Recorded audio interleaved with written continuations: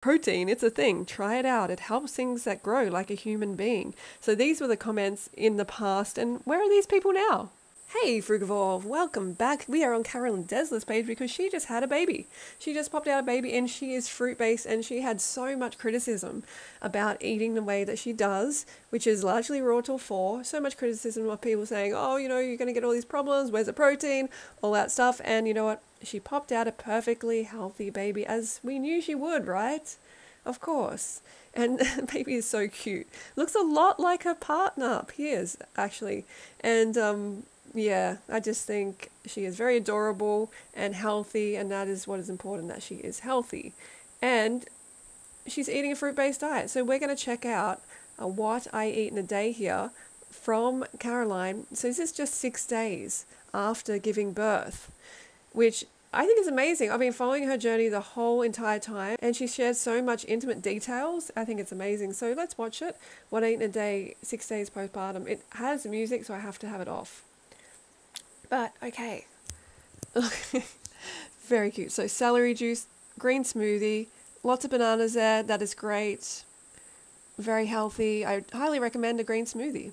Such a tiny little one. Oh. and the fruits. So she's having lots of fruit. She's having lots of medjool dates. She loves dates a lot. Okay, so she's having a roasted carrot avocado salad and dressing. This is later in the day. That is yeah, well, looks delicious. It does. And um, and then cucumber salad, potatoes, broccoli, and carrot dressing. That looks fantastic. And uh, her recipe book, she does have some great recipes in there. I have just about all of them, I think. And um, yeah, it's they're great. A lot of potatoes, right? There's nothing wrong with potatoes. You know, it doesn't matter. You don't have to have a high protein diet and, you know, have heaps of protein powder and stuff like that, you know, to have a healthy baby. You know, she's been eating like this the whole time. Like she said, her, her diet barely changed. You know, her diet barely changed. This is her six days, not even a week after. She barely looked like she even had a baby, right? Like she said in her comments that she's got so much milk. Hang on, she says here. Um, yeah, she says what she has here, and oh, she said in the comments. Oh no, here we go. Here's everything I ate to fuel my body. Um, she has an, having an abundance of breast milk, and isn't that amazing? And this is one of the latest little videos. Very healthy, you know, problem. A fruit based diet is optimal if you want to have a healthy pregnancy and baby. It literally is how we should be eating and you know and caroline has showed living proof of this and she was getting so much uh, like just hate for it you know? She was getting so this is her just before she popped. She's getting so much um you know people just saying this is really unhealthy you're so irresponsible but you can see it's just yeah people just don't know. They're uneducated. And i'm really thankful that caroline has showed the whole procedure, you know, the whole process. And by the way, I'm 16 years in on a fruit based diet. Okay, 16 years in, maintain the same weight for like 12 years now is kind of crazy. And like, I would be doing something else if it didn't work, right?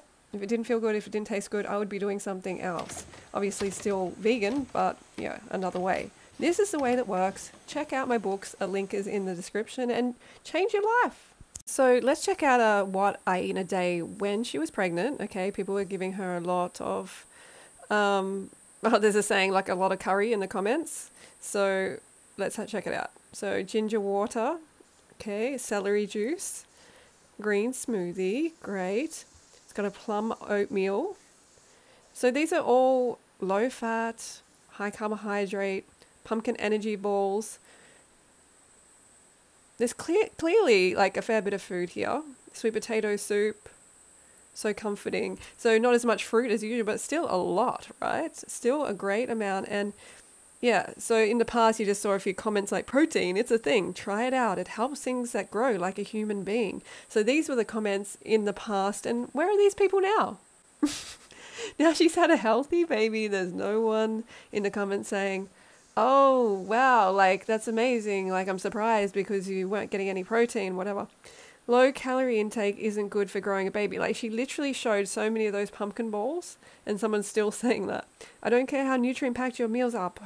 Calorie wise, it's far too low, too little protein. If you actually calculate it based on what she showed, it's not too little calories or protein at all. Poor baby, not getting enough protein. Oh gosh, that's the whole day. like you know, if you if you have like green green smoothie can be a lot of calories. This one also can add up the calories, that's for sure. And then look, these pumpkin balls, energy balls, they got oats as well. You know, I'm not saying she ate them all, but if she let's just pretend she did or ate a lot of them, that's that's a lot. That's a big whack of calories. So I don't know what people are talking about, sweet potato soup, but they just want to pick on the vegan, right? Especially the fruit based vegan. So yeah, she's doing great. She did great. She she produced a baby and the baby is healthy. Let's have a look at her story. This is her latest story just today. 15 hours ago, breakfast in bed. I'm exclusively breastfeeding and not using any formula. There you go, right? and that's how it should be. Highly recommend eating a healthy vegan diet for an abundance of breast milk. Exactly. I'm glad she said that. And um, hang on. Oh, we're going back here.